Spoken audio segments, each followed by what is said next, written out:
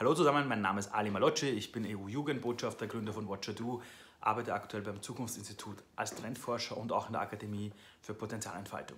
Nur darum geht es nicht, sondern es geht um den neuesten Film von Erwin Wagenhofer. Ich hatte das Vergnügen, mir letzte Woche äh, den Film schon ansehen zu dürfen. Und der neue Film von Erwin Wagenhofer namens So But Beautiful, But Beautiful, ist ein Film, der, glaube ich, zeitgemäßer nicht sein könnte wir leben aktuell in einer Welt, wo wir zwar den besten Wohlstand aller Zeiten haben, aber merken, dass wir auf menschlicher Seite nicht wirklich eine Evolution fortgesetzt haben.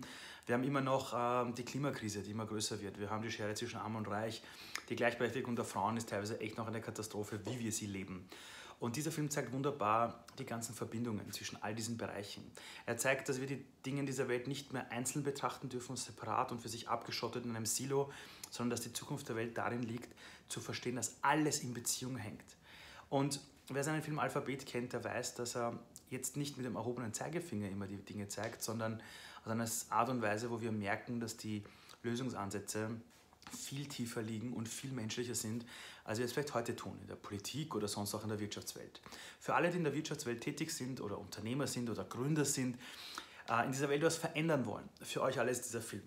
Nehmt euch die Zeit, geht ins Kino, lehnt euch zurück und lasst euch nicht nur inspirieren, sondern auch ein bisschen vielleicht aufwecken, was es denn wirklich ist, was wir heute benötigen. Der Film schlägt eine große Brücke von Veränderungen, die in Österreich stattfinden, bis über Spanien, bis in die große weite Welt und zeigt auf, dass die Lösungen für diese Welt, die liegen nicht nur im Technologischen, sondern es liegt darin, wie wir die bestehenden Dinge kombinieren und vor allem, wie sehr wir Menschen etwas zutrauen, aber auch wieder uns selber Vertrauen auf unsere Sinne zu setzen, wieder ins Menschliche hineinzugehen, zu verstehen, dass wir mit anderen Menschen in Beziehung gehen müssen, in Resonanz.